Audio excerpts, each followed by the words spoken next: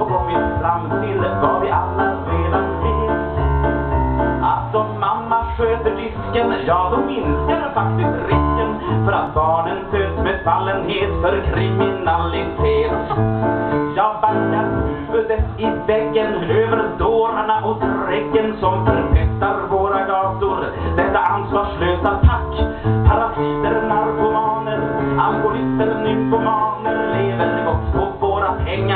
men de säger aldrig tack, man blir så ledsen och besviken när drogproblematiken breder ut sig. Krävs det lagstiftning och straff utan pardon. Och man blir både trött och slut när man blir rädd för att gå ut bland alla tjuvarna och mördarna som släpps på permission. Låt säga, på ett ungefär så har man räknat på det där och man känner på.